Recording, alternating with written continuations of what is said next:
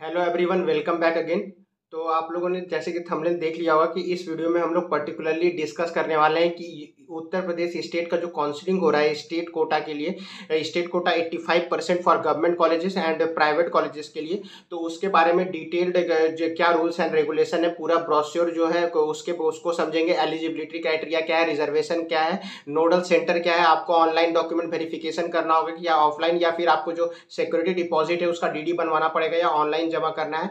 तो ये पर्टिकुलरली जो रूल्स एंड रेगुलेशन है, आपको इससे पहले जब हम रजिस्ट्रेशन का नोटिफिकेशन दिए थे कि रजिस्ट्रेशन स्टार्ट हो गया है, तब आप लोगों को बोले थे कि ब्रोश्योर जो है यूपी का, वो हम टेलीग्राम चैनल पे अपलोड कर दिए हैं और आपका जो यूपी डीजीएमई का वेबसाइट है, उस पर भी अपलोड है तो वहाँ पर आप देख सकते हो, जैसे ही क्रोम पे सर्च करोगे यूपी डीजीएमई तो वेबसाइट आ जाएगा, उसमें तीन ऊपर मेनू बार रहता है मेनू बार पे क्लिक करने पे आपको काउंसलिंग और अलॉटमेंट का सेक्शन दिखेगा तो वहाँ काउंसलिंग अलॉटमेंट पे चेक करोगे तो पहला तीन नोटिस इसी के रिकॉर्डिंग है। और ये ब्रोश्योर हिंदी और इंग्लिश दोनों में अपलोड किया गया है तो आपको पढ़ने में कोई दिक्कत होगा नहीं। और बहुत सिंपल लैंग्वेज में था तो इसलिए हम बोले थे कि खुद से पढ़ लेना कोई तुमको काउंसलिंग में प्रॉब्लम नहीं होगा।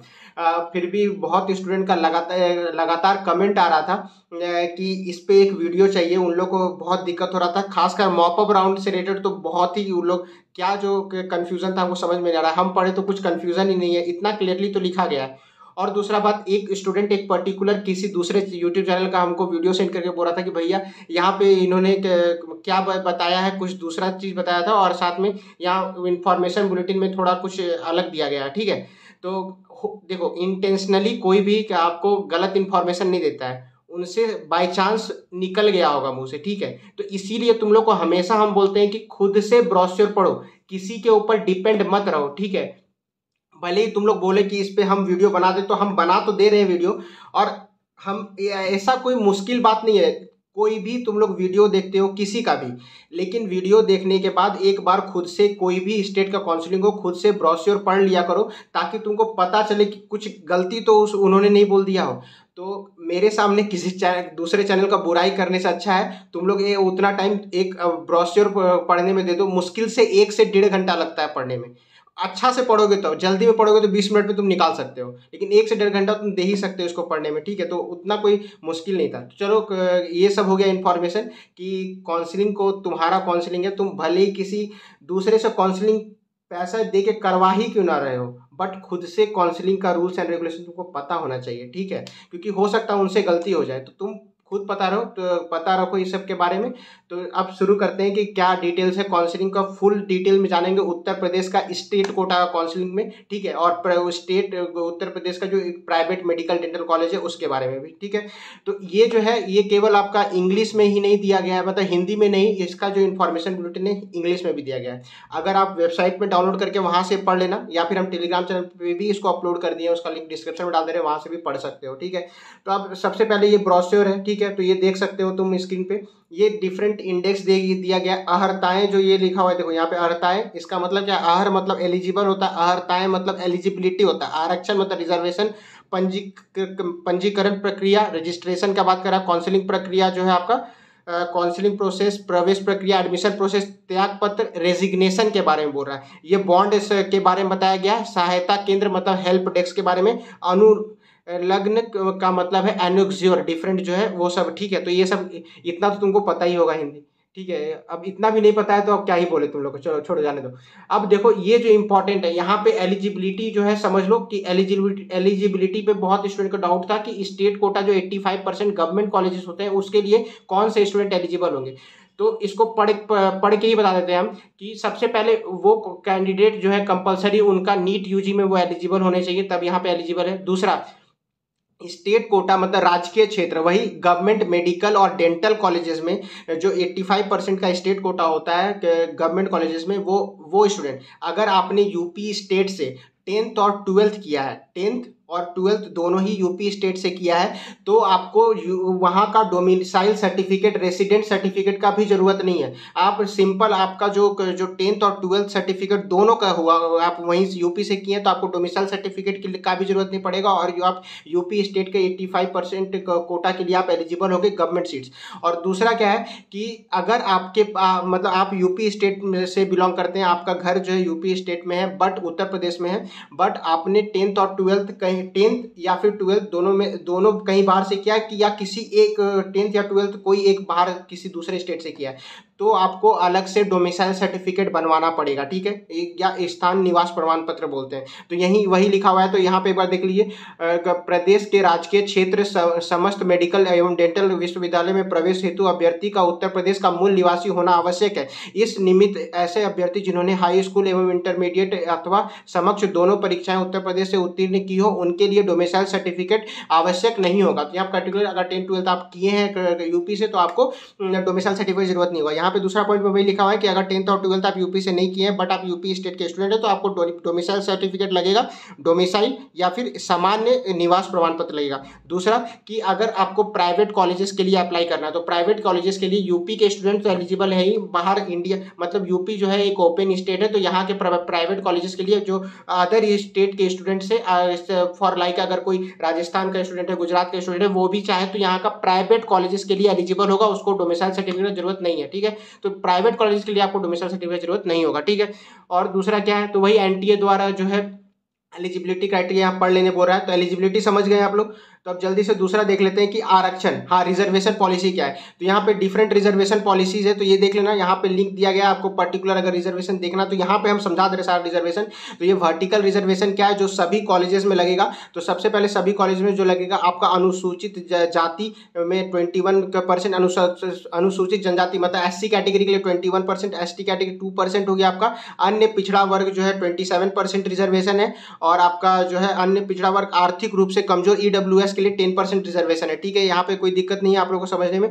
दूसरा हाँ पर्टिकुलर कुछ ऐसे कॉलेजेस है ना जिसमें मतलब कुछ यूपी में, उत्तर प्रदेश में कुछ ऐसे पर्टिकुलर गवर्नमेंट कॉलेज जहाँ पे पर्टिकुलर मतलब कुछ कैटेगरीज के लिए ज़्यादा रिजर्वेशन दिया गया है, ठीक है? तो उस पर्टिकुलर उस कॉलेजेस के बारे में यहाँ पे नाम दिया गया है। सबसे पहले जो है कि अंतर्गत स्थापित राज्य मेडिकल कॉलेज अंबेडकर नगर, कन्नौज, जालौन और सहारनपुर में थोड़ा ज़्यादा रिजर्वेशन है कुछ कैटेगरीज को। तो आप यहाँ पे देख सकते हैं, अनुसूचित जाति के लिए सिक्सटी सीट से, वही ऑल इंडिया कोटा से उनको टू सीट टोटल कितना हो गया आपका? सिक्सटी फोर सीट अब दूसरा आप यहाँ पे देख सकते हैं, अनुसूचित जनजाति हो गया, ये पिछड़ा वर्ग का है और यह अनारक्षित जनरल के लिए तो ये कुछ रिजर्वेशन स्पेशल रिजर्वेशन है, कुछ अलग मतलब कुछ इस कॉलेजेस में, ठीक है? तो ये भी आप देख लीजिएगा। हाँ दूसरा, ये particular S C S T O B C के अलावा भी कुछ कैटेगरीज को स्पेशल रिजर्वेशन है, ठीक है, आपका यूपी में। तो सबसे पहले क्या, एक कैटेगरी है स्वतंत्रता संग्राम सेनानी के आश्रितों के लिए। मतलब जो फ्रीडम फाइटर्स का कैटेगरी है उसमें टू परसेंट का रिजर्वेशन है। दूसरा, भूतपूर्व सैनिक मतलब एक्स सर्विसमैन में आपका टू पर टू परसेंट का रिजर्वेशन है, ठीक है। अब देख लेते हैं, और दो तीन रिजर्वेशन है। हाँ दिव्यांग अभ्यर्थियों के लिए। तो जो पी कैटेगरी के लिए उनका फाइव परसेंट रिजर्वेशन है। एनसीटी एनसीसी, जो एनसीसी कैडेट होता है ना तो उन, उनका रिजर्वेशन है बट वो सी सर्टिफिकेट होना चाहिए और कम से कम बी बी ग्रेडिंग होना चाहिए, ठीक है? कम से कम बी ग्रेडिंग होना चाहिए। वो वन परसेंट रिजर्वेशन है और फीमेल कैंडिडेट के लिए ट्वेंटी परसेंट बट ऐसा कुछ नहीं है कि इसके लिए अलग से रिजर्वेशन होता है फीमेल कैंडिडेट के लिए। वही उसमें ही इंक्लूड होता है तो फिर इसमें उतना इम्पैक्ट नहीं पड़ता, ठीक है? दूसरा यहाँ पे पॉइंट एक इंपॉर्टेंट है, इसको आप अच्छा से समझ लीजिए कि जो आर्थिक रूप से कमज़ोर मतलब ई डब्ल्यू एस और ओबीसी के श्रेणी हेतु दिनांक हाँ जो ईडब्ल्यूएस कैटेगरी है और ओबीसी कैटेगरी का सर्टिफिकेट है, वो आपका एक अप्रैल 2023 के बाद का होना चाहिए, ठीक है? फ़र्स्ट अप्रैल 2023 के बाद का होना चाहिए, तभी वो वैलिड होगा, ठीक है? तो यहाँ पे ये देख लेना। अब दूसरा क्या बोल रहा है? आरक्षण आरक्षण संबंधित सभी प्रमाण पत्र हाँ तो ये बोल रहे हैं कि जो जितना भी आपका रिजर्वेशन पॉलिसीज़ है तो आप किसी कैटेगरी में रिजर्वेशन एडमिशन लेना चाहते हैं तो वो जो सर्टिफिकेट होगा कैटेगरी सर्टिफिकेट वो पर्टिकुलर जो है आपका उत्तर प्रदेश स्टेट का होना चाहिए सेंट्रल वाला नहीं चलेगा। याद रखिएगा सेंट्रल वाला या किसी अदर स्टेट का नहीं चलेगा। मान लीजिए आपका ओबीसी सर्टिफिकेट है ई है, या फिर आपका मतलब फ्रीडम फाइटर का सर्टिफिकेट है तो ये सब आपको उत्तर प्रदेश से बना हुआ लेना चाहिए। लेकिन यहाँ पे एक एक्सेप्शन दिया गया यहाँ पे ये देखिए, दिव्यांग एवं एनसीसी प्रमाण पत्र को छोड़ के मतलब पीडब्ल्यूडी सर्टिफिकेट और एनसीसी सर्टिफिकेट है वो सेंटर का भी होगा तो चलेगा, ठीक है? बाकी पीडब्ल्यूडी और एनसीसी सर्टिफिकेट को छोड़ के अदर स्टेट का जो मतलब कि इसके अलावा जितना भी आपका जो भी डॉक्यूमेंट्स हैं, वो मतलब कि जैसे आपका रिजर्वेशन के लिए तो वो जो है आपका उत्तर प्रदेश स्टेट का होना चाहिए। यहीं पे वो लिखा गया दूसरा पॉइंट क्या है? दिव्यांगता प्रमाण पत्र मतलब पीडब्ल्यूडी सर्टिफिकेट जो एमसीसी का एक बार नोटिफिकेशन आया था कि किस किस नोडल से मतलब किस किस सेंटर पे आप पीडब्ल्यूडी सर्टिफिकेट बनवा सकते हैं। वहाँ पे वही ये ये एनेक्सियर फाइव में दिया गया है, इसे पीडीएफ में दिया गया आप देख लेना, ठीक है? तो वहाँ से आप बनवाइएगा सेंटर वाला भी पीडब्ल्यू सर्टिफिकेट काम कर जाएगा यहाँ पे। दूसरा एनसीसी प्रमाण पत्र, वो भी सेंटर का होगा तो चल जाएगा बट ये सी सर्टिफिकेट होना चाहिए और at least B grade B grading होना चाहिए, ठीक है? अब दूसरा क्या है कि देख रहे हैं नि, निजी क्षेत्र में को निजी क्षेत्र की मेडिकल मतलब प्राइवेट मेडिकल डेंटल कॉलेजों की सीटों पर किसी भी प्रकार का आरक्षण दे नहीं है तो ये सिंपल से लिखा हुआ है ठीक है। दूसरा अल्पसंख्यक संस्थान की पचास प्रतिशत जी के इसमें भी कोई दिक्कत नहीं आप लोगों को समझने में। और नित यूजी काउंसलिंग द्वारा यदि अपनी श्रेणी आरक्षित की गई हो तो यूपीए के काउंसलिंग हेतु पंजीकरण के समय अभ्यर्थी हाँ ये इंपॉर्टेंट पॉइंट है देख लो। ये वाला जो पॉइंट है ना स्टार मार्क इस पर बहुत सारा क्वेश्चन आ रहा था स्टूडेंट का कि को, कोई स्टूडेंट थे ना वो बोल रहे थे कि जब मतलब कि जब नीट के लिए जब रजिस्ट्रेशन हो रहा था एग्ज़ाम के लिए नीट यूजी का तब उन्होंने था रिजर्वेशन कैटेगरी या तो एससी था एसटी था, या ओबीसी कैटेगरी ईडब्ल्यूएस बट उन्होंने जब नीट का रजिस्ट्रेशन हो रहा था, तब उस टाइम जनरल कैटेगरी सिलेक्ट कर लिया था. बट अभी वो उत्तर प्रदेश का जब काउंसिलिंग हो रहा है, तब वो चाहते हैं कि जो रिजर्वेशन कैटेगरी उनका है, जैसे कि उनका रिजर्वेशन कैटेगरी फॉर एग्ज़ाम्पल कोई एससी कैटेगरी से बिलोंग करते हैं. बट वहाँ पे नीट नीट यूजी का जो रजिस्ट्रेशन था, वहाँ जनरल कर दिया क्या यहाँ पे उत्तर प्रदेश में अभी वो अपना वो एस कैटेगरी सिलेक्ट कर सकते हैं। तो वही यहाँ पे लिखा गया है कि अगर आपने वहाँ भले ही एनटीए का रजिस्ट्रेशन में नीट यूजी का रजिस्ट्रेशन में आपने कोई जनरल सिलेक्ट कर लिया हो बट अभी रिजर्वेशन चाहते हो और आपके पास वो डॉक्यूमेंट भी है तो यहाँ पे आप वो रिजर्वेशन कैटेगरी चुन सकते हो, आप उसके लिए एलिजिबल हो। तो यहाँ पे एक बार पढ़ लेना। अब ये डाउट हम क्लियर कर दिए। अब ये डाउट के रिलेटेड फिर से मत पूछना हमको। कोई बात नहीं, अगर डाउट होगा तो पूछ लेना, वैसा कोई बात नहीं है, ठीक है? तो नीट यूजी के आवेदन के समय उत्तर प्रदेश के आरक्षित श्रेणी के अभ्यर्थी द्वारा यदि अपनी श्रेणी अनारक्षित, वही अनारक्षित चुनी, अंकित की गई हो तो यूपी नीट यूजी के काउंसलिंग हेतु पंजीकरण समय ऐसे अभ्यर्थी द्वारा अपनी पंजीकरण आरक्षित श्रेणी के अंतर्गत। तो अगर यूपी का स्टेट काउंसलिंग में आप वो रिजर्वेशन कैटेगरी को चूज़ कर लेते हैं तो आप उसके लिए एलिजिबल होंगे। फ़र्क नहीं पड़ता कि आपने वहाँ जनरल चुना था ओबीसी चुना था, क्या क्या चुना था, ठीक है? तो वही पर्टिकुलर इंफॉर्मेशन है जो बहुत बड़ा डाउट था स्टूडेंट का। तो यहाँ पे क्लियर अब बोलो इतना क्लियरली ब्रोस्चर में आप लोगों को समझाता है तो आप लोगों को और क्या चाहिए? फिर भी आप लोग बोलते हो समझ में नहीं आता है, क्या बोले आप लोगों? तो यहाँ पे ये थोड़ा दिया गया पॉइंट विमुक्त कैटेगरी मतलब वो deprived category deprived S C deprived S T category deprived O B C category E B C ठीक है? ओ बी सी कैटेगरी तो ये सब यहाँ पे उसका थोड़ा डिटेल दिया गया पढ़ लेना, ठीक है? कोई दिक्कत नहीं है इसमें। दूसरा क्या है आपका? वेट यहाँ पे क्या है, ये पंजीकरण हाँ पंजीकरण प्रक्रिया मतलब रजिस्ट्रेशन प्रोसीड्यूर के बारे में यहाँ समझाया है कि रजिस्ट्रेशन जो है आपको इस वेबसाइट पे करना है UP NEET G O V dot in पे, पर लॉगिन करते हुए यहाँ पे आप कर लीजिएगा अपना नीट यूजी का जो रोल नंबर है, उसके अलावा, ठीक है? अभ्यर्थी के पंजीकरण फॉर्म समझते ये सब आपका डॉक्यूमेंट भर के आपको जमा करना होगा मतलब कि वो रजिस्ट्रेशन का जो डिटेल्स है, वो सब फिल करने बोल रहा है। दूसरा, कि आपका जो फ़र्स्ट राउंड और सेकेंड राउंड का जो स्टेट काउंसिलिंग होगा, उसमें आपको टू थाउज़ेंड रुपीज़ लगेगा एज रजिस्ट्रेशन फ़ी जो कि नॉन रिफंडेबल होता है। और मॉपअप राउंड में मॉपअप राउंड में आपको आइधर आपको किसी तरह भी, आपको सीट पहले मतलब कि आपको जो है मॉपअप राउंड में सभी स्टूडेंट को अलग से वन थाउज़ेंड रुपीज़ का फिर से रजिस्ट्रेशन करवाना होता है, ठीक है? तो फ़र्स्ट और सेकंड राउंड दोनों के लिए आपको टू थाउज़ेंड रुपीज़ एक साथ लग जाएगा तो अलग से फ़र्स्ट और सेकंड राउंड के लिए रजिस्ट्रेशन नहीं करना है। आप फ़र्स्ट राउंड में अगर टू थाउज़ेंड रुपीज़ का रिफंडेबल रजिस्ट्रेशन कर सकते हैं तो फ़र्स्ट सेकेंड राउंड ठीक है। और लेकिन मॉपअप राउंड में आपको अलग से सभी स्टूडेंट्स को वन थाउज़ेंड रुपीज़ का रजिस्ट्रेशन करना होता है, ठीक है? अब दूसरा क्या है कि अब देखो यहाँ पे, यदि अभ्यर्थी यदि अभ्यर्थी प्रथम चक्र की काउंसलिंग हेतु पंजीकरण नहीं करता है तो ऐसे अभ्यर्थी द्वितीय चक्र काउंसलिंग हेतु टू थाउज़ेंड मतलब ये बोल रहा है कि अगर आपने फ़र्स्ट राउंड में स्टेट कोटा का काउंसलिंग में रजिस्ट्रेशन नहीं किया तो आप डायरेक्ट सेकेंड राउंड में two thousand rupees non refundable amount जमा करके डायरेक्ट भी सेकेंड राउंड में आ सकते हो। फिर दूसरा क्या, पंजीकरण शुल्क नॉन रिफंडेबल है मतलब जो बोल रहा है रजिस्ट्रेशन फ़ी नॉन रिफंडेबल है, कोई दिक्कत नहीं है, पंजीकरण के पश्चात अभ्यर्थी को पंजीकरण फॉर्म एवं पंजीकरण शुल्क की रसीद डाउनलोड करनी होगी। मतलब आप रजिस्ट्रेशन करने के बाद जब non refundable amount registration fee two thousand rupees जब जमा कर लोगे तो उसके बाद आपको जो जनरेट होगा ना, वो डाउनलोड स्लिप तो उसको डाउनलोड कर लेना, ठीक है? रजिस्ट्रेशन स्लिप को डाउनलोड कर लेना। दूसरा क्या? धरोहर धन राशि मतलब सिक्योरिटी डिपॉजिट का बात कर रहे हैं यहाँ पे, ठीक है? अगर आपको हिंदी में प्रॉब्लम हो रहा था हम इंग्लिश में बोल रहे हैं, और दूसरा इंग्लिश में भी ब्रॉस्योर दिया गया, वहाँ से पढ़ सकते हो। तो धरोहर धनराशि जमा करने के पूर्व अभ्यर्थी अपना अर्हता स्वयं जाँच ले। मतलब ये बोल रहा है सिक्योरिटी डिपॉजिट जमा करने से पहले अपना एलिजिबिलिटी खुद से देख लेना ठीक है? दूसरा बोल रहा है यूपी नीट यूजी जो यूपी नीट की काउंसिलिंग है तो मतलब डिफरेंट क्या सिक्योरिटी डिपॉजिट है? तो, तो यहाँ पे देख सकते हो कि गवर्नमेंट मेडिकल और डेंटल कॉलेजेस के लिए मतलब एमबीबीएस बीडीएस गवर्नमेंट के लिए आपका थर्टी थाउज़ेंड सिक्योरिटी डिपॉजिट है। प्राइवेट मेडिकल कॉलेज मतलब प्राइवेट एमबीबीएस के लिए आपका टू लाख रुपीज़ है। और वही आपका प्राइवेट डेंटल कॉलेज के लिए वन लाख रुपीज़ है सिक्योरिटी डिपॉजिट ठीक है? तो ये देख लेना आप। यदि कोई अभ्यर्थी राजकीय तथा निजी क्षेत्र दोनों की दोनों ही प्रकार की सीटों को हेतु हाँ तो ये बोल रहा है कि आप गवर्नमेंट और अगर आप कोई स्टूडेंट जो है वो चाहता है कि गवर्नमेंट कॉलेजेस के लिए अभी अप्लाई करें और प्राइवेट के लिए तो जो ज़्यादा अमाउंट है वो उनको देना पड़ेगा। जैसे कि गवर्नमेंट और प्राइवेट गवर्नमेंट का थर्टी थाउज़ेंड था, लेकिन प्राइवेट का टू लाख रुपीज़ है। तो आपको टू लाख रुपीज़ देना पड़ेगा। अ सिक्योरिटी डिपॉजिट क्योंकि धरोहर धनराशि जमा करने के पश्चात अभ्यर्थी को धरोहर धनराशि की रसीद डाउनलोड हाँ मतलब सिक्योरिटी डिपॉजिट आप जमा करने के बाद आपको सिक्योरिटी डिपॉजिट का जो डाउनलोड स्लिप जनरेट होगा, उसको डाउनलोड कर लीजिएगा, ठीक है? दूसरा बात, और हाँ यहाँ पे एक क्वेश्चन आता है कि जो सिक्योरिटी डिपॉजिट है, उसको ऑनलाइन जमा करना है कि ऑफलाइन आपको टेंशन नहीं लेना, इस बार आप सिक्योरिटी डिपॉजिट ऑनलाइन भी जमा कर सकते हैं, ठीक है, कोई दिक्कत नहीं है डीडी डीडी नहीं भी बनवाइएगा तो आप ऑनलाइन जमा करने का आपके पास ऑप्शन दिया गया है, कोई दिक्कत नहीं, आप ऑनलाइन ही जमा करना, ठीक है। और हाँ एक बार आप जिस अकाउंट से सिक्योरिटी डिपॉजिट जमा करोगे, उसी अकाउंट में आपका वापस रिफंड होगा।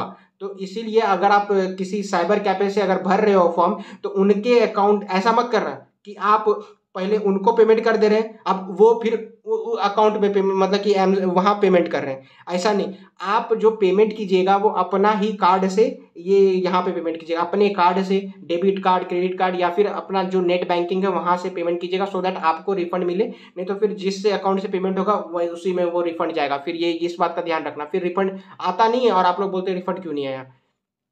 ठीक है? और दूसरा क्या है? धरोहर धनराशि जमा करने के पश्चात अभ्यर्थी को डाउनलोड करना होगा। जिन अभ्यर्थी द्वारा धरोहर धनराशि जमा नहीं की जाएगी हाँ तो अगर आप सिक्योरिटी डिपॉजिट नहीं जमा करोगे तो आपको चॉइस फिलिंग का ऑप्शन नहीं मिलेगा। तो ये तो कोई दिक्कत नहीं। समस्त चक्र की काउंसिलिंग समाप्त होने के उपरांत यदि अभ्यर्थी को कोई भी सीट आवंटित नहीं होती है तो ऐसे हाँ तो ये बोल रहा है कि सारा round first round, second round mop up round, stray vacancy round, जो भी है। तो सारा राउंड काउंसलिंग होने के बाद अगर आपको कोई भी सीट अलॉट नहीं होता है अलॉटमेंट नहीं होता है तो आपका सिक्योरिटी डिपॉजिट रिफंड हो जाएगा, उसका कोई टेंशन नहीं है। दूसरा क्या है कि राजकीय निजी मतलब गवर्नमेंट कॉलेजेस प्राइवेट कॉलेजेस में आवंटन प्राप्त अभ्यर्थी द्वारा प्रवेश लेने के उपरांत धरोहर धनराशि हाँ तो अगर आपको कॉलेज अलॉट होता है, आप एडमिशन ले लेते हैं मतलब वहाँ पढ़ाई कर रहे हो तो अलॉटमेंट के बाद आपको मतलब अलॉटमेंट होता है, आप उस कॉलेज में एडमिशन ले लेते हैं और उसके बाद आपको रिफंड हो जाएगा। अगर आप फर्दर कोई राउंड का काउंसलिंग का मतलब कि अगर रूल ब्रेक नहीं करते हो तो तो वही लिखा हुआ है कि राज्य के निजी क्षेत्र के मेडिकल कॉलेजों डेंटल कॉलेजों में आवंटन प्राप्त अभ्यर्थियों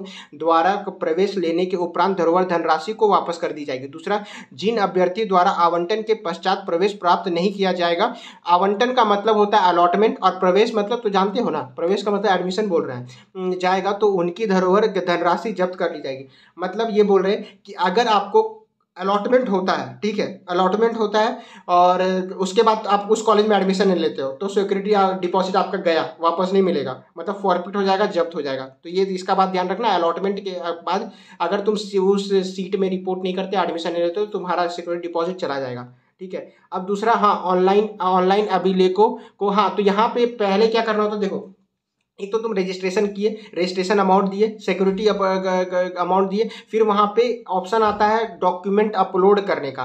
ऑनलाइन डॉक्यूमेंट वेरिफिकेशन का। तो यहाँ पे स्टूडेंट पूछते हैं कि ऑनलाइन डॉक्यूमेंट वेरिफिकेशन जो होगा, वो ऑनलाइन होगा, ऑफलाइन होगा। तो इसके लिए देखो, तुम्हारा कुछ नोडल सेंटर तो जैसे ही तुम अपना डॉक्यूमेंट्स अपलोड करोगे, ठीक है? तो उसके बाद तुमको बहुत सारा नोडल ऑफिसर मतलब नोडल सेंटर्स का लिस्ट आ जाएगा, ठीक है? तो उसमें से तुमको कोई एक मतलब सिलेक्ट करना है जो तुम्हारे नज़दीक होगा। सिलेक्ट करना है और सिलेक्ट करने के बाद वो ऑनलाइन ही वेरीफे, वेरिफिकेशन कर देंगे, ठीक है? ऐसा नहीं है कि तुमको वहाँ पर जाना पड़ेगा डॉक्यूमेंट लेके। बट अगर कुछ होता है कभी कुछ केस में कि डॉक्यूमेंट में कुछ प्रॉब्लम आता है, तब वो अलग से बुलाते हैं कि आपका पेपर में ये दिक्कत है तो आप आ जाइए, ठीक है? बट इस बार आपका जो डॉक्यूमेंट वेरिफिकेशन है, वो ऑनलाइन ही होगा।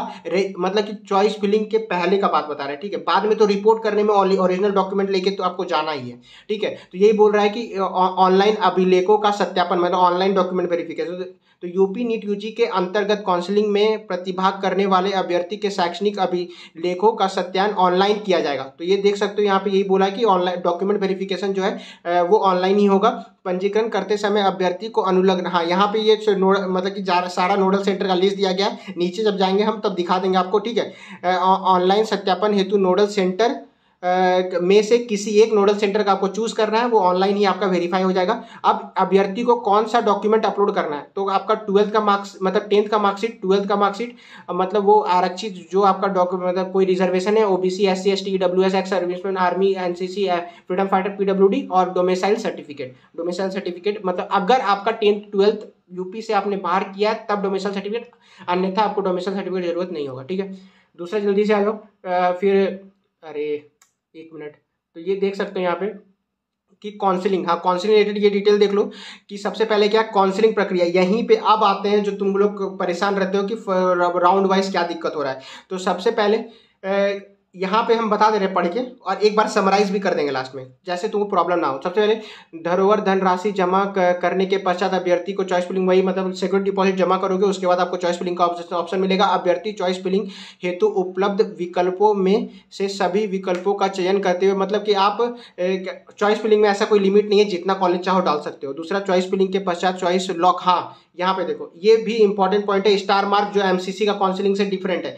एमसीसी का जो ऑल इंडिया कोटा काउंसलिंग होता है, वहाँ पे आपको चॉइस फिल करने के बाद, अगर आप चॉइस लॉक नहीं भी करते हो तो बाद में वो ऑटोमेटिक चॉइस लॉक हो जाता है। बट यहाँ पे लिखा गया है स्ट्रिक्टली कि चॉइस फिलिंग करने के बाद आपको चॉइस लॉकिंग करना एसेंशियल है, ज़रूरी है। अगर चॉइस लॉकिंग नहीं करोगे तो आपको अलॉटमेंट नहीं होगा। ये समझ लें। ठीक है? कि चॉइस फिलिंग के पश्चात चॉइस लॉक करना अनिवार्य होगा चॉइस लॉक ना करने की दशा में सीट आवंटन नहीं होगा। ये ध्यान रखना, ठीक है? अब अभ्यर्थी द्वारा चयनित विकल्पों के हाँ तो ये बोल रहा है जो आप मतलब कि कॉलेज का प्रेफरेंस लिस्ट में डालोगे और जो स्टेट मेरिट लिस्ट है, उसके हिसाब से अलॉटमेंट होगा। प्रथम चक्र की काउंसलिंग द्वारा आवंटित सीट पर अभ्यर्थी को प्रवेश प्राप्त करना अनिवार्य होगा, अन्यथा की स्थिति में जमा की गई धनराशि धरोहर धनराशि जब्त कर ली जाएगी। मतलब अब ये बोल रहा है कि फ़र्स्ट राउंड में अगर आपको सीट अलॉट होता है यूपी स्टेट में और स्टेट कोटा से, ठीक है? और आप अलॉटमेंट के बाद वहाँ कॉलेज में एडमिशन नहीं लेते हो, जाके रिपोर्ट नहीं करते हो तो आपका जो सिक्योरिटी डिपॉजिट है, वो फॉरफिट हो जाएगा, जब्त हो जाएगा। जबकि ऑल इंडिया काउंसिलिंग में क्या था? ऑल इंडिया काउंसिलिंग में था फ़र्स्ट राउंड में फ्री एग्जिट था। कि अगर फ़र्स्ट राउंड में आप एडमिशन नहीं भी लेते हो अलॉटेड कॉलेज में तो आपका सिक्योरिटी डिपॉजिट मतलब रिफंड हो जाता है। बट यूपी का काउंसिलिंग में अलग है, ये ध्यान रखना। फ़र्स्ट राउंड के में अगर आपको सीट अलॉट होता है, आप एडमिशन नहीं लेते हो तो आपका जो तीस हज़ार रुपया है for government medical college dental colleges तो वो थर्टी थाउज़ेंड रुपीज़ चला जाएगा आपका। ठीक है, दूसरा ऐसे अभ्यर्थी, द्वितीय चक्र की काउंसलिंग में प्रतिभाग करते हुए तो जो मतलब आपको सीट अलॉट हुआ, फिर भी आप फ़र्स्ट राउंड में एडमिशन नहीं लेते हो तो आप सेकेंड राउंड में पार्टिसिपेट कर सकते हो नो डाउट बट आपको फिर से एक, वो सिक्योरिटी डिपॉजिट जमा करना होगा थर्टी थाउज़ेंड रुपीज़ फिर से. ऐसा याद रखना, ठीक है? दूसरा, ऐसे अभ्यर्थी जिन्हें प्रथम चक्र की काउंसिलिंग से कोई भी सीट आवंटित ना हुई हाँ तो ये बोल रहा है कि अगर आपको फ़र्स्ट राउंड में कोई सीट अलॉट ही नहीं हुआ है तो आप का सिक्योरिटी डिपॉजिट कोई कोई चक्कर नहीं है। आप आप जा सकते हो सेकंड राउंड में। आपको फिर से सिक्योरिटी डिपॉजिट जमा नहीं करना होगा। ऐसे अभ्यर्थी वही फिर से एक बार बताया ऐसे अभ्यर्थी जिन्हें प्रथम चक्र की काउंसिलिंग में से कोई भी सीट आवंटित ना हुई हो तो एवं प्रथम चक्र की काउंसिलिंग से प्रवेशित अभ्यर्थी को द्वितीय चक्र की काउंसिलिंग में प्रतिभाग करने हेतु पुनः धरोहर धनराशि जमा करने की आवश्यकता नहीं है। ये ये पढ़ ली ध्यान से। तो सारा, अब बताओ, इतना सारा पॉइंट को हम इतना अच्छा से कवर कर रहे हैं, फिर भी तुम लोग का डाउट रह जाता है। कोई नहीं, होगा तो पूछ लेगा ठीक है, दूसरा। अब ये तो पॉइंट बता दिए ना अब दूसरा हाँ, हाँ ये देखो पुनरावंटन के हेतु अभ्यर्थी हाँ तो ये अपग्रेडेशन के रिलेटेड इन्फॉर्मेशन है ठीक है? तो ये यहाँ बोला गया है कि अगर आपको फ़र्स्ट राउंड में सीट अलॉट हो जाता है और आप वहाँ जाके एडमिशन ले लेते हैं और वहाँ जाके आप बोलते हो कि हमको अपग्रेडेशन करना है तो आप अपग्रेडेशन में डिफरेंट चॉइस फिलिंग डालते हो ठीक है? और आपको सेकेंड राउंड में अपग्रेड हो जाता है ठीक है? कॉलेज, अगर आपको अपग्रेड हो जाता है तो कॉलेज अपग्रेड होने के बाद आपको सेकेंड राउंड का जो था आपका कॉलेज, वहाँ पे जाके एडमिशन करवाना होगा और जो फ़र्स्ट राउंड वाला जो कॉलेज था, वो ऑटोमेटिकली कैंसिल हो जाता है। तो आपको फिर वहाँ पे जाके सेकेंड राउंड वाला जो कॉलेज अपग्रेड हुआ है, वहाँ जाके एडमिशन करवाना होगा, ठीक है?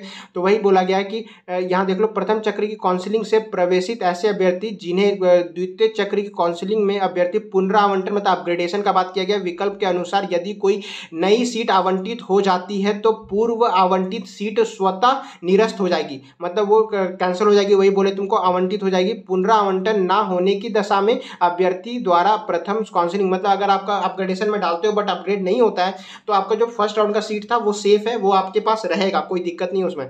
दूसरा पॉइंट यहाँ पे क्या बोल रहा है कि पुनरावंटन हेतु अभ्यर्थी प्रथम चक्र की काउंसिलिंग से प्रवेशित सीट का विकल्प द्वितीय चक्र में ना भरे यदि अभ्यर्थी हाँ तो ये बोल रहे हैं कि सेकेंड राउंड में जो तुम अपग्रेडेशन के लिए डालोगे, वो वही सीट को डालना जो तुम समझते हो कि जो फ़र्स्ट राउंड में जो तुमको सीट मिला है, उससे ऊपर का सीट है, उससे अच्छा सीट है, उससे बेटर है तुम्हारे लिए प्रेफरेंस बेटर डालना।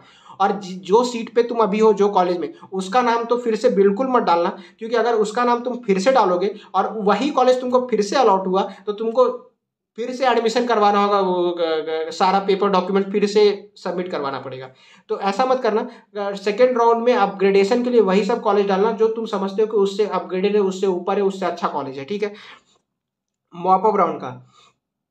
तो ये तुम ध्यान से सुनो, क्योंकि मॉपअप राउंड से ही सारे स्टूडेंट का डाउट आ रहा था। तो इसको हम तो क्लियरली समझा रहे हैं और तुम एक बार नहीं समझ में आया, फिर से रिपीट करके देख लेना बट हम इसमें ही बता दे रहे। हैं सबसे पहले मॉपअप राउंड हेतु वही अभ्यर्थी अर्ह होंगे मतलब एलिजिबल होंगे, जिन्हें यूपी नीट यू मतलब UP NEET UG twenty UP के स्टेट काउंसिलिंग में प्रथम एवं द्वितीय काउंसलिंग के द्वारा कोई भी सीट आवंटित ना हुई। तो यहाँ पे वर्ड इंपॉर्टेंट है जिन्हें आवंटित। आवंटित का मतलब अलॉटमेंट होता है एडमिशन नहीं, समझो। तो यहाँ पे ये मिला गया कि इस, जो स्टेट कोटा का मॉपअप राउंड है यूपी स्टेट के लिए। तो स्टेट कोटा मॉपअप राउंड में वही स्टूडेंट एलिजिबल होंगे जिन्हें फ़र्स्ट राउंड ऑफ़ काउंसिलिंग और second round of state quota मतलब फ़र्स्ट राउंड स्टेट से फ़र्स्ट राउंड आपका मतलब फ़र्स्ट राउंड और सेकेंड राउंड स्टेट से कोई भी सीट अलॉटमेंट ना हुआ हो तभी आप मॉपअप राउंड में आएगा। वो डिपेंड नहीं करता है कि आपने एडमिशन लिया हो कि नहीं लिया हो। आपको अलॉट हो जाता है स्टेट कोटा से फ़र्स्ट या सेकेंड राउंड के काउंसिलिंग में, यूपी स्टेट में तो आप मॉपअप राउंड में एलिजिबल ही नहीं होगे, पार्टिसिपेट नहीं कर सकते हो। तो इसका बात का ध्यान रखना। दूसरा ऐसे अभ्यर्थी जिन्होंने प्रथम व द्वितीय चक्र की काउंसलिंग में पंजीकरण नहीं किया हो। मतलब रजिस्ट्रेशन नहीं किया हो, ऐसे अभ्यर्थी भी पंजीकरण कराते हुए मॉपअप राउंड में आ सकते हैं। तो यहाँ पे एक, यहाँ भी एक क्वेश्चन है स्टूडेंट का। स्टूडेंट पूछते हैं कि हम फ़र्स्ट और सेकेंड राउंड में पार्टिसिपेट नहीं कर सक, करना चाहते हैं डायरेक्ट मॉपअप राउंड में पार्टिसिपेट कर सकते हैं। वहाँ पे क्वेश्चन का जवाब दिया है। तुम अगर फ़र्स्ट या सेकंड राउंड में रजिस्ट्रेशन नहीं किए हो तो डायरेक्ट मॉपअप राउंड में भी आ सकते हो। तुमको रिफंडेबल रजिस्ट्रेशन अमाउंट मतलब ये non refundable one thousand rupees registration fee जमा करना होगा। डाउट क्लियर ठीक है। दूसरा यूपी नीट यूजी की प्रथम या द्वितीय चक्र की काउंसिलिंग से आवंटन प्राप्त अभ्यर्थी एवं ऑल इंडिया कोटा तथा अन्य प्रदेश हाँ ये इंपॉर्टेंट है। यहाँ पे देखो यूपी नीट यूजी कि प्रथम या द्वितीय काउंसिलिंग से आवंटन प्राप्त अभ्यर्थी, जिन स्टूडेंट को स्टेट कोटा फ़र्स्ट राउंड और सेकेंड राउंड से कोई भी सीट अलॉट हुआ हो, या फिर ऑल इंडिया काउंसिलिंग से, या कोई अदर स्टेट का काउंसिलिंग में इससे पहले का काउंसिलिंग में कहीं पे उन्होंने प्रवेशित एडमिशन लिया हो, वो मॉपअप राउंड हेतु अर्य नहीं होंगे। एक बार फिर से इसको बता दें मॉपअप राउंड में कौन से स्टूडेंट एलिजिबल नहीं होंगे? मॉपअप राउंड में वो स्टूडेंट एलिजिबल नहीं होंगे। अगर आपको स्टेट कोटा, यूपी स्टेट से फ़र्स्ट राउंड या सेकेंड राउंड में अलॉट हुआ है कोई सीट, वो फ़र्क नहीं पड़ता आप वहाँ एडमिशन लेते हो या नहीं लेते हो। आप आप एलिजिबल नहीं हो मॉपअप राउंड में। दूसरा, अगर आप ऑल इंडिया कोटा काउंसिलिंग या किसी अदर स्टेट काउंसिलिंग में, इससे पहले कहीं कॉलेज में आप एडमिशन ले लेते हो, ऑल इंडिया काउंसिलिंग में क्या रूल है? कि मतलब कि वहाँ पे क्या अगर वहाँ पे एडमिशन ले लेते हो तब यहाँ पे एलिजिबल नहीं होगे मॉपअप राउंड में अगर वहाँ ऑल इंडिया काउंसिलिंग से कोई सीट आपको अलॉट होता है बट वहाँ एडमिशन नहीं लेते हो ऑल इंडिया काउंसिलिंग से तो यहाँ मॉपअप राउंड में आ सकते हो अगर वहाँ एडमिशन नहीं लेते हो। और दूसरा रूल स्टेट काउंसिलिंग से आपका अगर फ़र्स्ट राउंड और सेकेंड राउंड में कॉलेज अलॉट भी हो जाता है तो यहाँ पे एलिजिबल नहीं होगे मॉपअप राउंड में। अब इतना समझा दिए हैं, अब क्या बोले? अब अगर तुमको फिर भी डाउट है, भाई एक बार रिवाइंड करना, फिर से देखना। फिर भी डाउट हो जाए कमेंट कर लेना। कमेंट नहीं करोगे टेलीग्राम पे आ जाना। टेलीग्राम चैनल का, का लिंक हम डिस्क्रिप्शन डाल दें वहाँ पूछ लेना। इंस्टाग्राम से भी पूछ सकते हो। तुम लोग काउंसिलिंग चल रहा है तो काउंसिलिंग में कोई गलती नहीं होना चाहिए। इसलिए हम यहाँ पे इतना तुम लोग के लिए कर रहे हैं क्योंकि कोई गड़बड़ी मत करना तुम लोग काउंसिलिंग में। ठीक है दूसरा क्या है? कि मॉपअप राउंड से आवंटित हाँ तो ये मॉपअप राउंड से आवंटित कोई प्र, को हाँ मॉपअप राउंड से आवंटित अभ्यर्थियों को प्रवेश के समय समस्त शैक्षणिक जाति प्रमाण पत्र हाँ वही बोल रहा है कि आपको जो डॉक्यूमेंट मतलब कि अगर मॉपअप राउंड में एडमिशन हो जाता है तो आपको फिर वही ओरिजिनल डॉक्यूमेंट से लेके जाके कॉलेज में रिपोर्ट करना है। दूसरा स्टेट यहाँ पे जो है थोड़ा सीट कन्वर्जन का दिया गया डिटेल तो यहाँ पे एक बार पढ़ लो कि स्टेट कोटे के आरक्षित श्रेणी के सीटों का आमोलन आमेलन मॉपअप राउंड के दौरान किया जाएगा। आरक्षित श्रेणी मतलब रिजर्वेशन कैटेगरी के अभ्यर्थी को आवंटन के उपरांत मतलब उनका अलॉटमेंट होने के बाद रिज़र्व कैटेगरी का अलॉटमेंट होने के बाद मॉपअप राउंड में। उपरांत अगर कोई रिजर्वेशन कैटेगरी का कोई सीट बच जाता है तो उसको कन्वर्ट कर दिया जाएगा। अनरिजर्व कैटेगरी डिफरेंट कैटेगरी में कन्वर्ट कर दिया जाएगा। वो कन्वर्जन क्या है, वो दिखा देंगे। अब फिर उसमें उस कैटेगरी का स्टूडेंट्स को भी ले लिया जाएगा मॉपअप राउंड में ही। तो यहाँ पे अगर कोई सीट बच जाता है मॉपअप राउंड में, जो रिज़र्व कैटेगरी का है बट उसमें तो उसको सीट को कन्वर्ट कर दिया जाएगा दूसरे कैटेगरीज में। तो ठीक है, वही बोल रहे हैं कि एस टी कैटेगरी का P W D ex serviceman freedom fighter को एस टी कैटेगरी में एस सी का ये सब डिफरेंट कैटेगरीज को एस सी कैटेगरी में यू आर का जो P W D ex serviceman freedom fighter N C C को यू आर में और इसका सब डिफरेंट तो यहाँ पे देख सकते हैं। अगर कोई एस टी कैटेगरी का सीट बन जाता है तो उसको एस सी में कन्वर्ट कर दिया जाएगा। एस सी कैटेगरी का सीट को यू आर में, बाकी कैटेगरीज को यू आर में कन्वर्ट कर दिया जाएगा और उसमें अलॉटमेंट होगा। ठीक है, बाद में। तो इसमें आपको कोई दिक्कत नहीं है। फिर भी कोई प्रॉब्लम हो तो पूछ लेना। I am here to help you ठीक है? दूसरा क्या है कि government government medical dental college विश्वविद्यालय के आवंटित अभ्यर्थी हाँ तो ये क्या है? प्रवेश प्रक्रिया। अब क्या था? वो काउंसिलिंग प्रोसेस समझा दिए थे तुमको। काउंसिलिंग प्रोसेस समझ गए हो? कोई दिक्कत? ठीक है। अब फिर भी कोई काउंसिलिंग प्रोसेस कोई डाउट हो तो पूछ लेना, ये याद से, ठीक है? दूसरा आप क्या है? कि ये देख लो, एक मिनट, कि राजकीय में मेडिकल आवंटित को प्रवेश प्रतिकृत हाँ तो ये बोल रहे हैं कि गवर्नमेंट और मेडिकल कॉलेज जो भी आपको अलॉट होता है तो उसको आप वही कॉलेज में रिपोर्ट करके डॉक्यूमेंट आपको वहाँ सबमिट करना ओरिजिनल डॉक्यूमेंट और वहाँ पे आपको एडमिशन लेना पड़ेगा, वही पर्टिकुलर कॉलेज में जाके। दूसरा बट यहाँ पे दूसरा पॉइंट क्या लिया है, कि जो प्राइवेट मेडिकल डेंटल कॉलेज है, उसके लिए एडमिशन के लिए कुछ नोडल सेंटर बनाया गया ठीक है? कुछ नोडल सेंटर बनाया गया। प्राइवेट के लिए आपको उन नोडल सेंटर में जाके एडमिशन लेना है। गवर्नमेंट के लिए क्या करना है आपको। गवर्नमेंट के लिए जो कॉलेज आपको अलॉट हुआ है, उसी में जाके आपको रिपोर्ट करना है। बट प्राइवेट के लिए कुछ नोडल सेंटर बनाया गया आपको वहाँ पर जाकर रिपोर्ट करना है, ठीक है?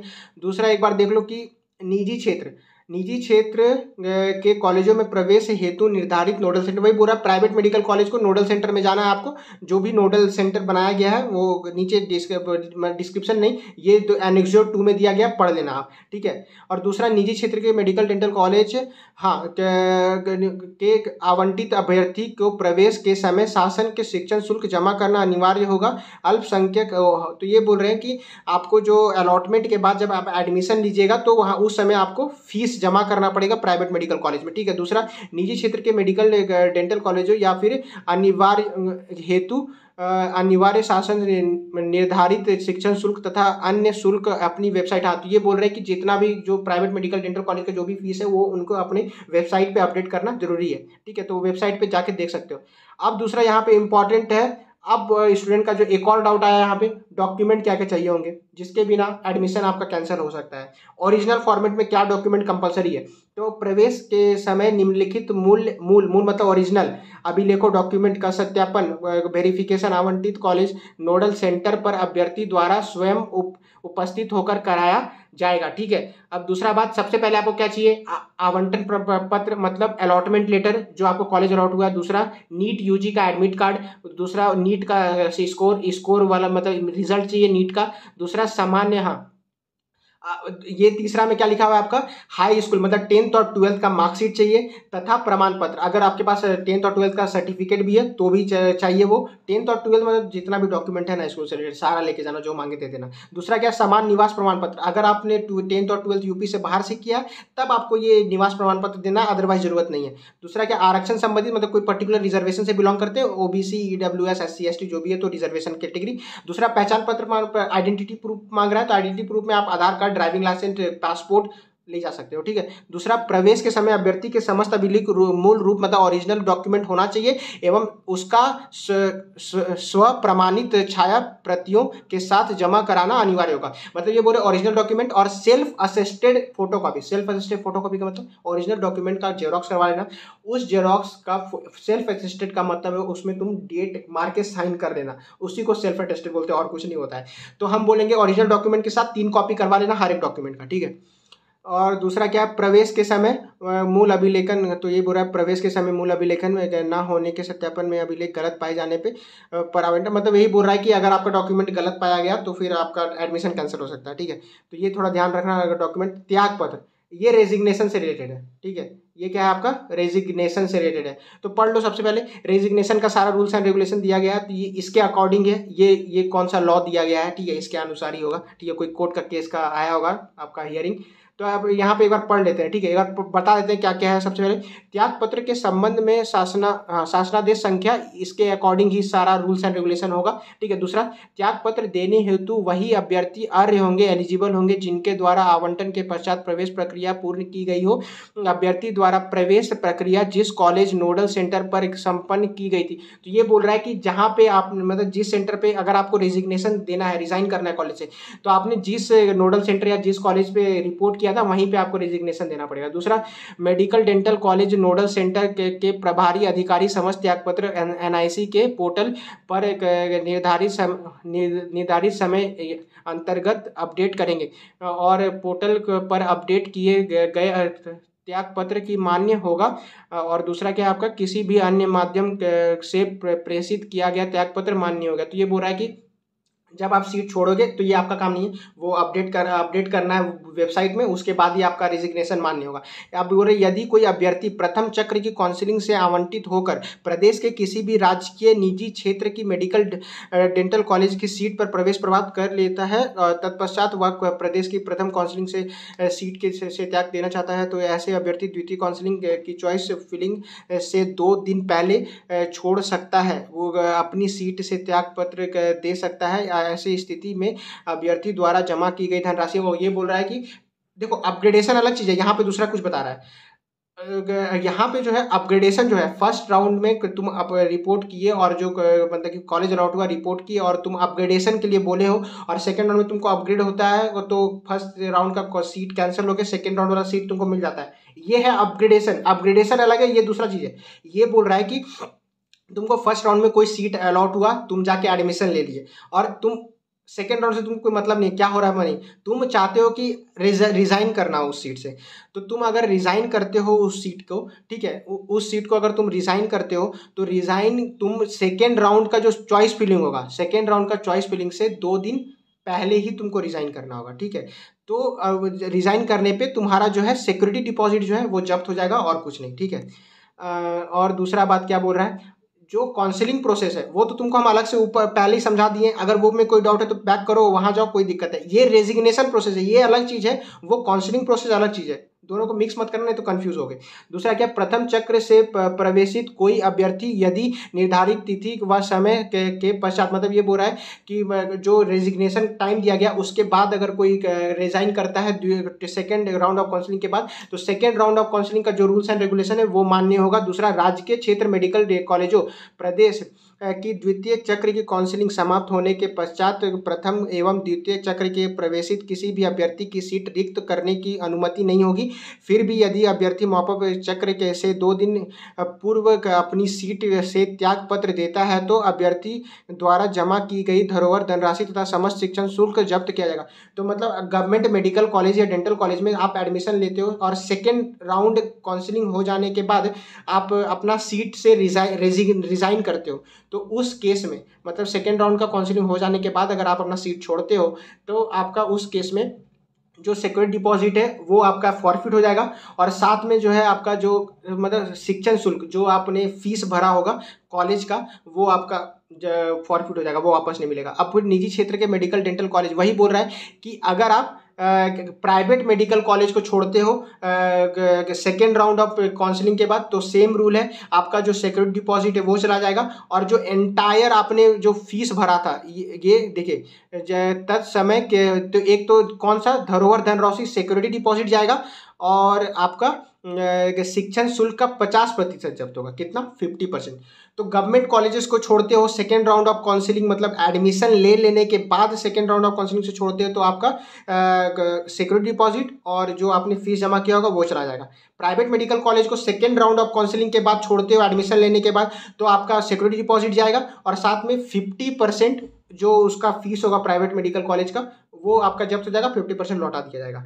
दूसरा क्या बोल रहा है कि राजकीय मेडिकल कॉलेज हेतु प्रथम चक्र की काउंसलिंग से प्रवेशित अभ्यर्थी, यदि द्वितीय चक्र की काउंसलिंग में पुनः आवंटन के पश्चात प्रवेश नहीं लेता है। ओ हाँ यहाँ पे। ठीक है, ये इंपॉर्टेंट पॉइंट है। यही अपग्रेडेशन से रिलेटेड है कि ये बोल रहा है कि आपने फ़र्स्ट राउंड ऑफ़ काउंसलिंग में आपको अलॉट हुआ, आपने एडमिशन लिया सेकेंड राउंड में आपने अपग्रेडेशन करवाया और आपको सेकेंड राउंड में अपग्रेड भी कॉलेज हो गया बट आप सेकेंड राउंड में अपग्रेडेड कॉलेज में एडमिशन नहीं लेते हो तो आपका जो सिक्योरिटी डिपॉजिट है, वो चला जाएगा। ठीक है? वो चला जाएगा, ठीक है? और साथ में जो तथा समस्त शिक्षण शुल्क जब्त कर लिया जाएगा मतलब सिक्योरिटी डिपॉजिट और जो शिक्षा शुल्क जो था वो भी चला जाएगा। तो अपग्रेड अगर सेकेंड में अपग्रेड होता है कॉलेज तो ले लेना मेरे हिसाब से, ठीक है? दूसरा बट आपका डिसीज़न आपके ऊपर है। निजी क्षेत्र के मेडिकल डेंटल कॉलेज हेतु, चक्र काउंसिलिंग यदि द्वितीय चक्र की काउंसिलिंग वही सेम रूल है। यहाँ पे कि अगर आपको सेकेंड राउंड में अपग्रेड होता है प्राइवेट मेडिकल कॉलेज में तो आपका वो सिक्योरिटी डिपॉजिट जाएगा और फिफ्टी परसेंट जाएगा जो उनका फ़ीस है प्राइवेट कॉलेज का, ठीक है?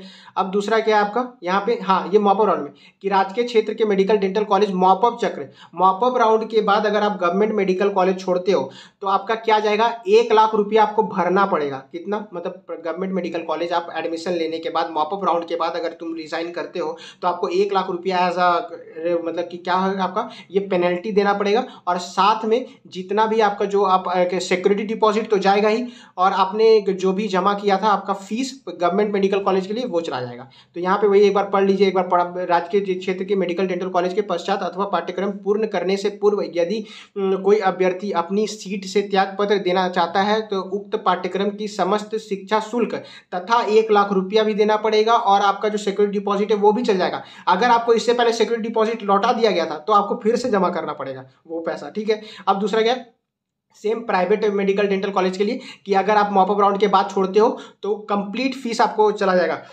धरोहर, धनराशि और चिकित्सा मतलब कि चिकित्सा शिक्षा को देना पड़ेगा डिमांड ड्राफ्ट के फॉर्म में और आपका जो फ़ीस है, पूरा फ़ीस आपको जब्त हो जाएगा। तो निजी क्षेत्र के मेडिकल, डेंटल कॉलेजों मॉपअप राउंड के पश्चात अथवा पाठ्यक्रम पूर्ण करने के पूर्व हाँ तो यहाँ भी मॉपअप राउंड के बाद आप सीट छोड़ते हो या फिर आप एमबीबीएस कोर्स कर रहे हो, बीच में छोड़ देते हो तो भी ये रूल है। कि मॉपअप राउंड के बाद छोड़ते हो या एमबीबीएस कोर्स के बीच में छोड़ देते हो तो आपको प्राइवेट मेडिकल जो कॉलेज है, वहाँ का आपका सिक्योरिटी डिपॉजिट चला जाएगा और साथ में जो आपने फ़ीस जमा किया था, वो पूरा चला जाएगा। तो समस्त शिक्षण शुल्क संबंधित मेडिकल डेंटल कॉलेज का दे होगा तो वो धरोहर धनराशि आपको वो सिक्योरिटी डिपॉजिट पर चला जाएगा। तो इतना तो बता दिए आप क्या, कोई दिक्कत? तो इसीलिए बोलते हैं कि इसमें स्टूडेंट पूछते कि, भैया, हम पार्शियल ड्रॉप ले लें। मतलब यूपी स्टेट में कोई कॉलेज में एडमिशन ले लिए हैं और आप पढ़ रहे हैं एमबीबीएस और फिर से नेक्स्ट ईयर एग्ज़ाम दिए तो वो नया को मतलब कि अच्छा रैंक आ गया मान लो नीट ट्वेंटी ट्वेंटी फोर में तो आप बोल रहे हो उनको कॉलेज को छोड़ना है। तो यहाँ पे रूल ये देख लो बाबू तुम कि जो तुम्हारा जो फ़ीस था, वो वो चला जाएगा, ठीक है, जो तुम जमा किए थे। तो ये अगर तुम दे पा रहे हो तो तुम पार्सियल ड्रॉप कर सकते हो, ठीक है। अब नेक्स्ट आ जाओ। हाँ ये क्या है? अनिवार्य शासकीय सेवा बॉन्ड इस पर भी एक रहता है कि सब बॉन्ड से रिलेटेड बहुत परेशान होते हैं कि बॉन्ड क्या है। तो बॉन्ड यहाँ क्लियरली लिखा गया है कि आप जब गवर्नमेंट एमबीबीएस बीडीएस करोगे यूपी स्टेट से तो आपका दो साल का बॉन्ड है। कितना? दो साल का बॉन्ड है। आ, सर्विस बॉन्ड है। मतलब दो साल आपको उनका गवर्नमेंट को सर्विस देना पड़ेगा। और अगर आप बॉन्ड नहीं मतलब सर्विस नहीं करना चाहते तो आपका दस लाख रुपया का आपको पेनल्टी भरना पड़ेगा।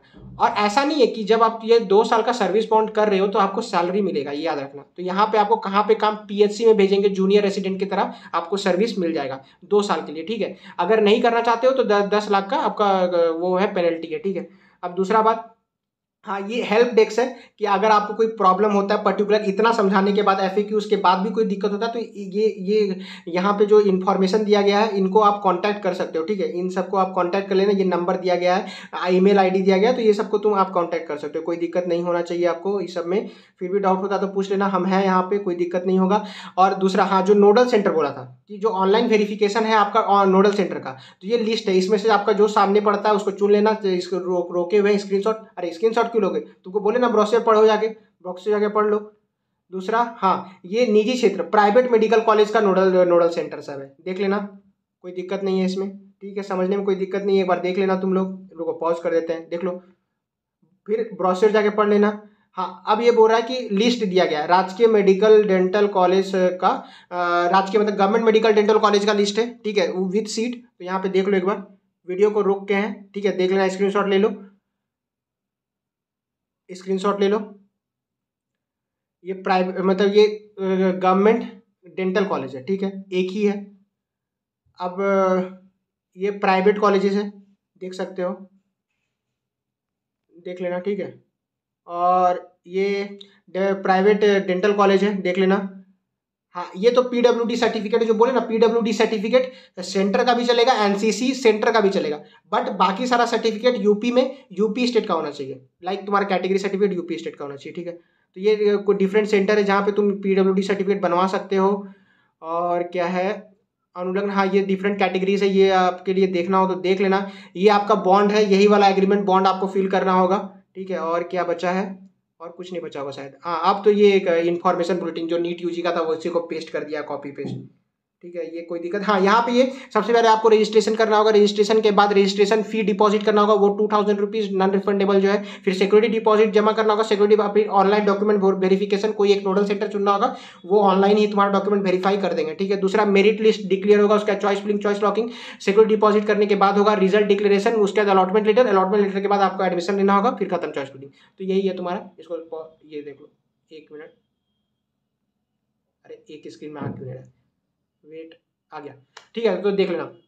इसी के साथ ये वीडियो को यहाँ पे खत्म करते हैं। बहुत लंबा हो गया। ठीक है बट वीडियो को पूरा देखना, कोई डाउट हो तो एक बार रिवाइंड कर लेना। फिर भी कोई डाउट बचे तो टेलीग्राम पे पूछ लेना इंस्टाग्राम पे पूछ लेना। टेलीग्राम में आ सकते हो, क्योंकि टेलीग्राम में और भी बहुत सारे स्टूडेंट है, वहाँ पे इसी तरह का डाउट पूछते रहते हैं तो तुम्हारा भी डाउट साथ में क्लियर हो जाएगा। ठीक है till then see in the next video thank you have nice day और भी हाँ जिस तरह की यूपी स्टेट के स्टूडेंट्स बोल रहे थे कि इस तरह से उनको प्रॉब्लम हुआ तो आप भी अगर कोई अदर स्टेट से भी है और इस तरह से कोई रूल्स एंड रेगुलेशन में दिक्कत होता है तो भाई हमसे कमेंट करके पूछ लेना। हम होगा तो पर एक वीडियो भी बना देंगे। ऐसा कोई बात नहीं कि हमको वीडियो बनाने में कोई प्रॉब्लम है। बट अगर आपका रिस्पॉन्स अच्छा रहा तो ज़रूर बनाएँगे, ठीक है? तो